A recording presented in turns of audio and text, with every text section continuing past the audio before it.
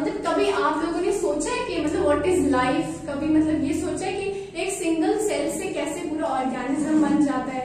कभी ये सब सोचा वही सब हम लेवल्स ऑफ़ ऑर्गेनाइजेशन में पढ़ेंगे, कैसे सेल से टिश्यू टिश्यू से कैसे ऑर्गेन ये कैसे बनता है तो सबसे पहले levels of organisation levels of organisation की जब हम बात करते हैं तो बेसिकली वो थ्री कैटेगरीज में डिवाइड किया गया है. सबसे पहले cellular level of organisation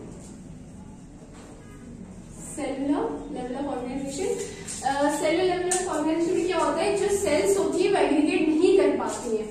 मतलब कि वो एक uh, एक सिंगल सिंगल डिस्टेंस में प्रेजेंट होती है और uh, एक सिंगल सिंगल डिस्टेंस में प्रेजेंट होती है वो एग्रीगेट नहीं कर पाती है। इसी को हम बोलते हैं cellular level of organisation for example sponges sponges मतलब Porifera they also exhibit cellular level of organisation clear example लिख देती हूँ स्पॉन्जेस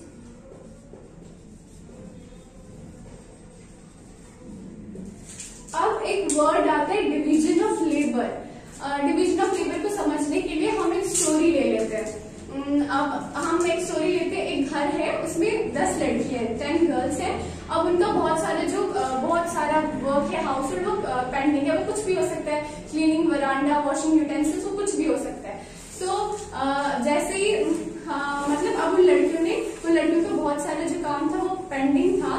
तो अब वो लड़कियाँ क्या कर डिसाइड करती है कि वो दो दो के ग्रुप्स में, वो लड़कियाँ डिसाइड करती हैं कि वो दो दो के ग्रुप्स में डिवाइड होंगी और वो डिवाइड होकर अपना पर्टिकुलरली काम करने लगेंगे। अब मान लीजिए कि जो दस लड़कियाँ थी, ये हमारे दस सेल्स थी। इन्होंने डिसाइड करा कि ये दो दो के ग्रुप्स में डिवाइड होंगी दो दो के ग्रुप्स में डिवाइड होकर ये अपना पर्टिकुलर काम करने लगे। दैट मीन्स जब सेल्स एग्रीगेट होकर ग्रुप बनाती है मतलब टिश्यू बनाती है एंड वो टिश्यू कोई स्पेसिफिक फ़ंक्शंस के लिए असाइन करते हैं उसे हम बोलते हैं division of labour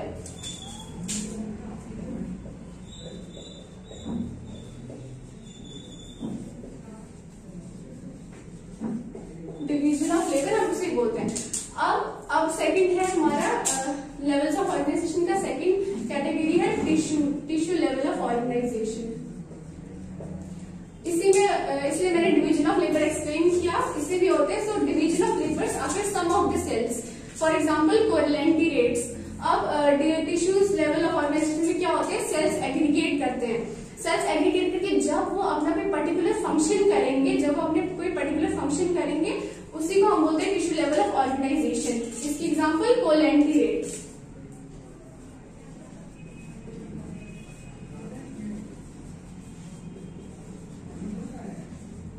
अब थर्ड है organ level of organisation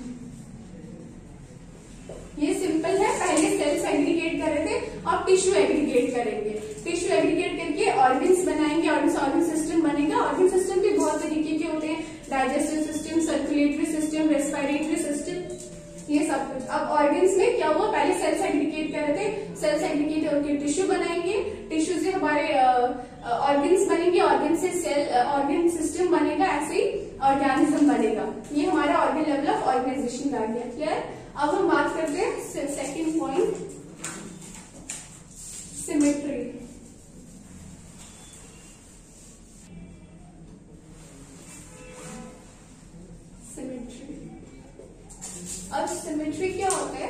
symmetry होता है, किसी भी चीज़ को दो इक्वल हाफ्स में डिवाइड करना। मतलब हम किसी चीज़ को डिवाइड करेंगे एंड वो दो इक्वल हाफ्स में डिवाइड होना चाहिए।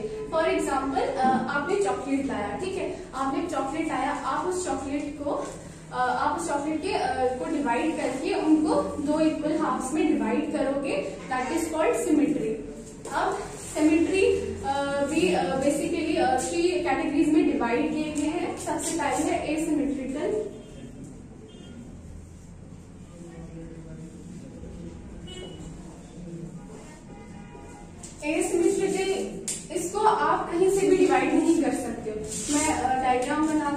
आपको क्लियर हो जाएगा?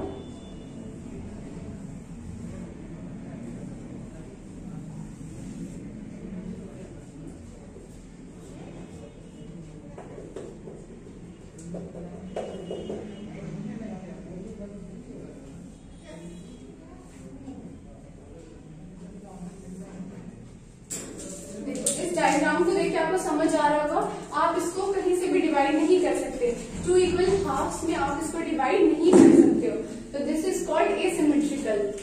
इसकी डेफिनेशन भी लिखवा लेती हूँ।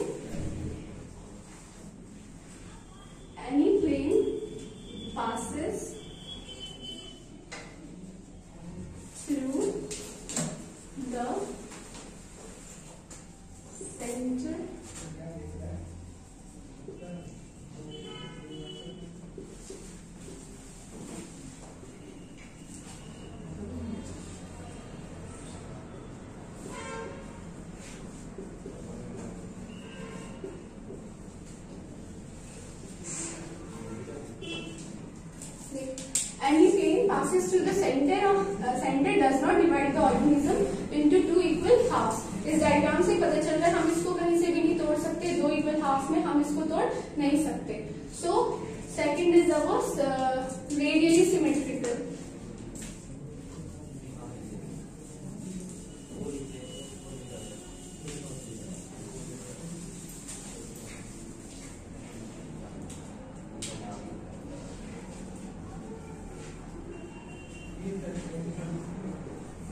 radially symmetrical में आप इसको भी कहीं से भी डिवाइड करो it will always divide into two equal half इसकी भी डायग्राम से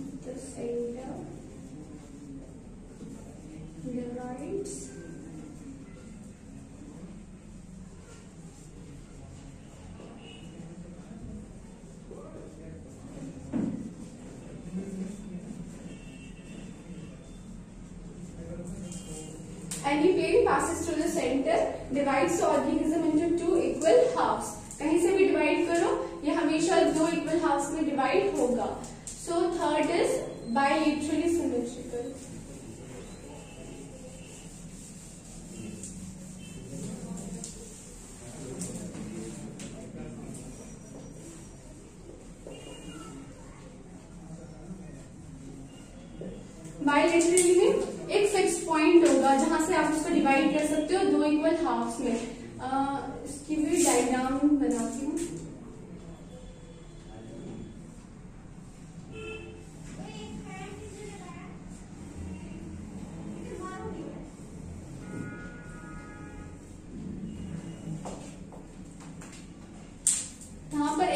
point होगा जिससे आप इसको डिवाइड कर सकते हो टू इक्वल हाफ़ में। इसकी भी definition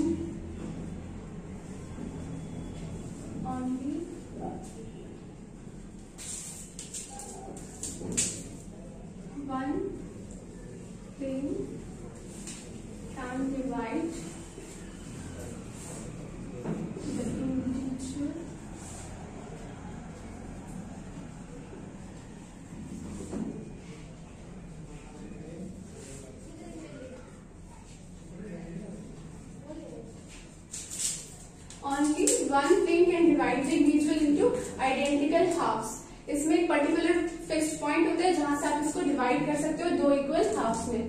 अब हम बात करेंगे जर्म लेयर की।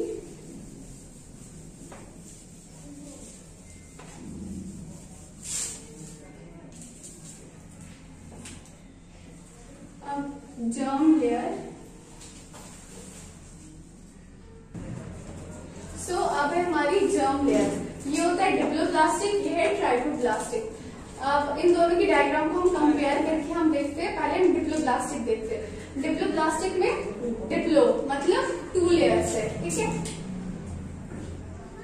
डाय मतलब to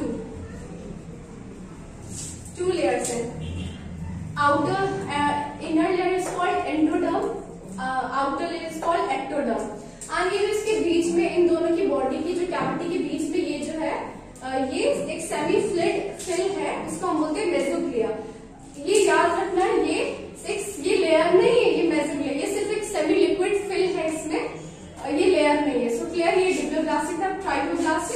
Uh, inner layer is called endoderm and uh, outer layer is called ectoderm and uh, middle layer is called mesoderm. इसमें थ्री लेयर्स है इसमें टू लेयर्स है रिमेम्बर ये लेयर नहीं है ये सिर्फ़ एक सेमी लिक्विड फ्लूड जो है वो फिल है सो so, ये, ये जर्म ये था हमारा जर्म लेयर अब हम सेगमेंटेशन की बात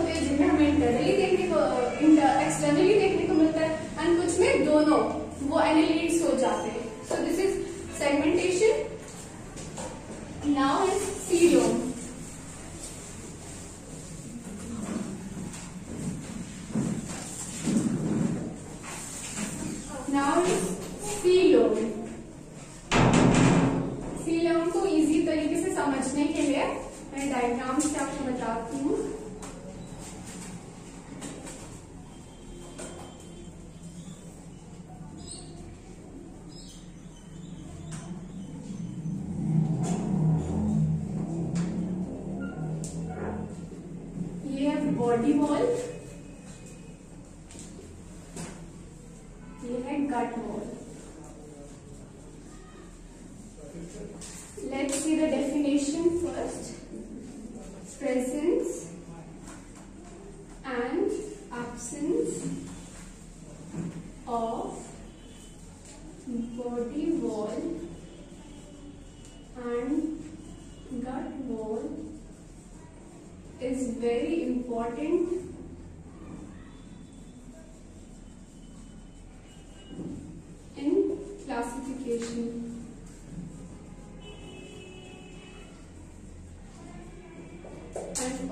body wall is lined between by mesoderm. ये जो बॉडी वॉल और गट वॉल इनके बीच की जो स्पेस है इसी को सीलोम बोलते हैं इसको सीलोम बोलते हैं एंड ये जो बॉडी वॉल की लाइन है एंड गट वॉल की लाइन है ये लाइन होनी चाहिए मेजोडर्म से याद रखना। ये लाइन है, ये लाइन ये लाइन होनी चाहिए मेजोडर्म से। याद रखना। अब जो सीलोम है, वो भी थ्री कैटेगरीज में डिवाइड किया गया है। सबसे पहले हमारा ए सिलोमेट ए सिलोमेट देखते हैं। सीलोम सबसे पहले acoelomate acoelomate a absent मतलब इसमें जो बॉडी कैविटी है, वो प्रेजेंट नहीं है. इसमें बॉडी कैविटी एब्सेंट है. फॉर एग्ज़ाम्पल फ्लैटवॉर्म्स फ्लैटवॉर्म्स आपने देखे होंगे. इसकी एग्ज़ाम्पल है. इसमें बॉडी कैविटी जो थी वो पूरी तरीके से प्रेजेंट नहीं होती है बॉडी कैविटी एब्सेंट होती है। सेकेंड इज़ सीओडोसिलोमेट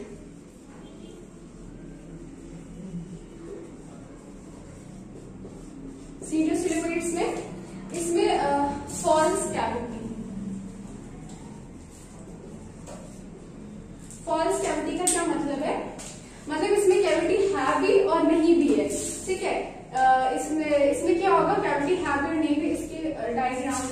हैं यहाँ पर देखते हैं कुछ ऐसे होते हैं इनको बोलते हैं। ये होते हैं। डायग्राम को देखिए, समझ आ रहा है। इनके ये जो बीच में, ये जो सर्कल के बीच में जो पैचेस है ना ये पैचेस यही मिजोडम है। यहाँ पर मिजोडम प्रॉपरली प्रेजेंट नहीं होता है। ये पैचेस के फॉर्म में प्रेजेंट होते हैं। एंड इसके, ये एग्जांपल है निमैटोड्स निमैटोड्स में ही समझ ये जो सर्कल्स हैं, इनकी फॉर्म में, इन पैचेस की फॉर्म में मेजोडर्म प्रेजेंट है। अब third is coelous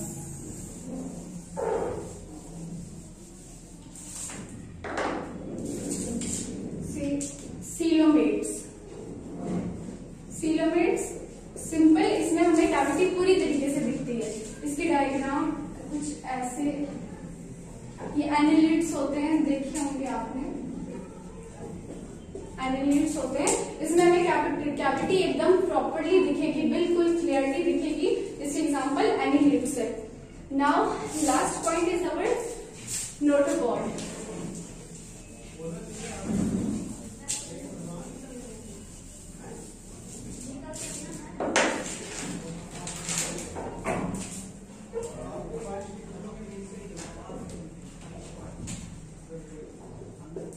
notochord notochord क्या नोटोकॉर्ड जैसे सपोर्ट होता है। हमारे पास भी बैकबोन है।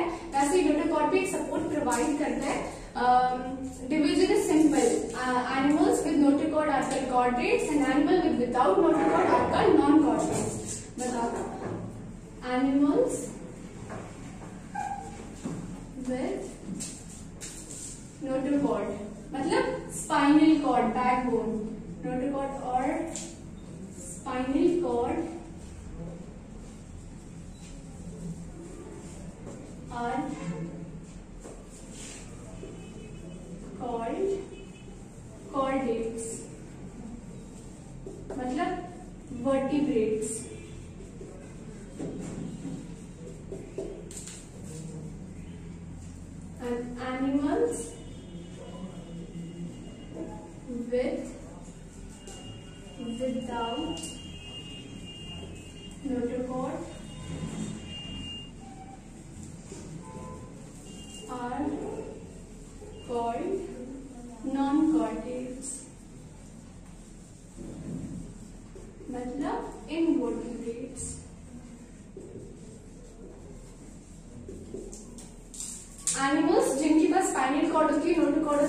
होती है कॉर्डेट्स मतलब वर्टिब्रेट्स एनिमल्स जिनके पास जिनके पास नोटोकॉर्ड नहीं होती है जिनके पास स्पाइनल कॉर्ड बैकबोन नहीं होती है वो हमारे हो जाते हैं इनवर्टिब्रेट्स सो ये था हमारा नोटोकॉर्ड सो इसी के साथ हमारा बेसिस ऑफ़ क्लासिफिकेशन का टॉपिक खत्म होता है uh, अब हम नेक्स्ट क्लास में पढ़ेंगे फाइलेंस पॉरेफेरा के बारे में So and thank you, uh, thanks for your love, thanks for your 800 subscribes.